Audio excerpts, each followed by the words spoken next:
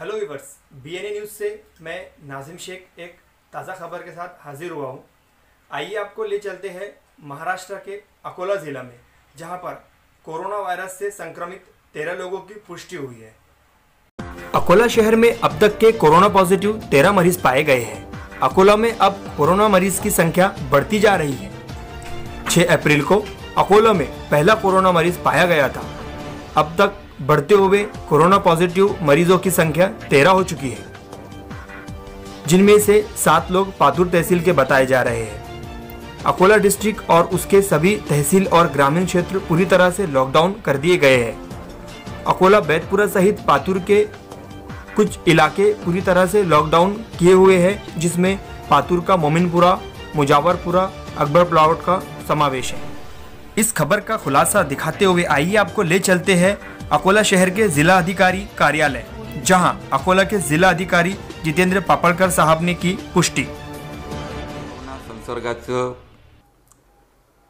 अकोला जिल्ह्यातलं प्रमाण आजही वाढतं असून अकोला जिल्ह्यात आज सकाळी आपल्याला जे काही रिपोर्ट्स प्राप्त झाले त्यामध्ये त्या एकाच कुटुंबातील आणखी चार लोकांना कोरोनाची पॉझिटिव्ह असल्याची लक्षणं आढळून आल्याने त्यांचे रिपोर्ट जे आहेत ते पॉझिटिव्ह आलेले आहेत.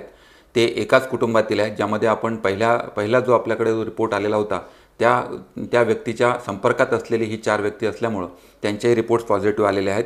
पातूरमध्ये जे काय आपण आतापर्यंत मग काल आपण सात जे आपल्याला पॉझिटिव्ह होते ते सात सातही ठिकाणचं आपण सिलिंग झालेलं असल्यामुळं त्या ठिकाणी आता चाळीस टीमच्या माध्यमातून आपण तिथलं कंटेनमेंट झोनमधलं हाऊस टू हाऊस सर्वेक्षणाचं काम सुरू केलेलं आहे.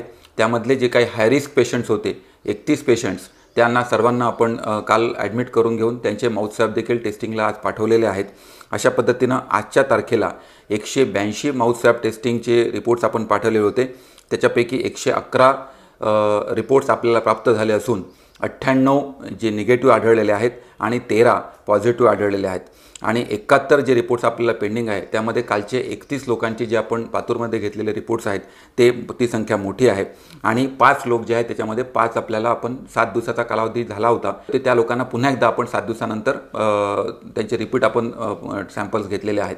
या संद संदर्भामध्ये आपण अकोला जिल्ह्यामध्ये आणि अकोटमध्ये आणि अकोट फैल आणि बैतपुरा या दोन्ही परिसरामध्ये कालचं जे काही आमचं सर्वेक्षणाचं काम सुरू झालं आहे त्याच्यामध्ये अत्यंत चांगला सहभाग चांगलं सहकार्य हे लोकांनी दिलेलं आहे. असं सहकार्य जर का आपलं चौदा दिवस राहिलं आणि लोकांना जी काही ज जनतेला माझं असे आवाहन राहील की त्यांनी या निमित्तानं घराच्या बाहेर एकतर पडू नये आणि आपल्याला जर का कुठल्याही पद्धतीची लक्षणं सर्दी ताप खोकला याच्या अशा प्रकारची कुठली लक्षणं आढळली तर तात्काळ आपल्याकडे जे काही आरोग्य पथक येतं आहे त्या आरोग्य पथकाला ही माहिती उपलब्ध करून द्यावी.